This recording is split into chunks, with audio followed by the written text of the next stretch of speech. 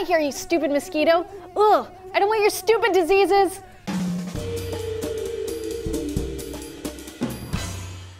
Hey guys, Julia here for D News. Mosquitoes are often seen as one of the most annoying creatures on this planet and arguably one of the most deadly. These buzzing nuisances carry deadly diseases like yellow fever, dengue fever, lymphatic filariasis, and famously, malaria. According to the World Health Organization, malaria infects over 500 million people a year and kills 3 million.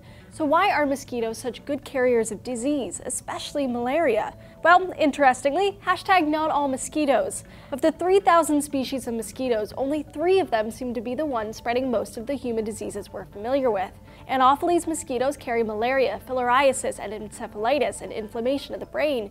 Culex mosquitoes carry encephalitis, filariasis, and the West Nile virus. And Aedes mosquitoes carry encephalitis, yellow fever, and dengue fever. In fact, many species of mosquitoes aren't good carriers of disease at all.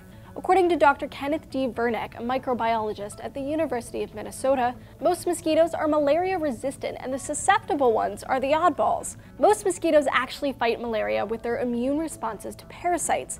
After a mosquito sucks up its bloody meal, a peritrophic matrix or barrier forms in between the bug's lining of their midgut and the blood. While it can take a few hours to form, it does trap some parasites inside, possibly providing protection against some of them. The malaria parasite doesn't infect mosquitoes at all. It never enters their circulatory system. Another response mosquitoes have is to coat the parasite in a melanin capsule, but this comes at a cost. The mosquito has to commit resources to coat the invader, which takes resources away from things like reproduction, resulting in the infected mosquitoes becoming less fertile. So though the parasite can enter the mosquito's body, it often doesn't make them sick, which is good news for the parasite or virus because if their host dies, they die too. And malaria's next trick is getting from the mosquito into a human body, probably yours. The parasite uses some of the very things that help a mosquito feed to easily enter the next host. Mosquitoes have substances in their saliva that weaken blood vessels, promote bleeding, and shut down the human body's natural first lines of defense.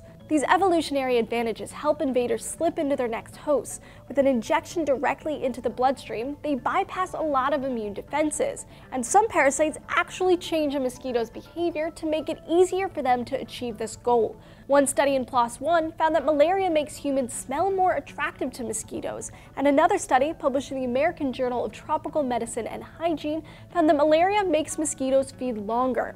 It invades the mosquito's salivary glands while in the sporozoite stage, which probably helps the parasite get into the next host easier. But in their invasion, they interfere with the mosquito's saliva production, which the mosquito needs to locate blood vessels in a host. With impaired salivary abilities, it takes longer for the mosquitoes to feed to get the same amount of blood, which is just fine with the parasite, it gives them more time to jump to their new host. So though mosquitoes are good at ferrying parasites like malaria to our bloodstream, they don't benefit from their morbid task, and instead put themselves in more danger and can become infertile.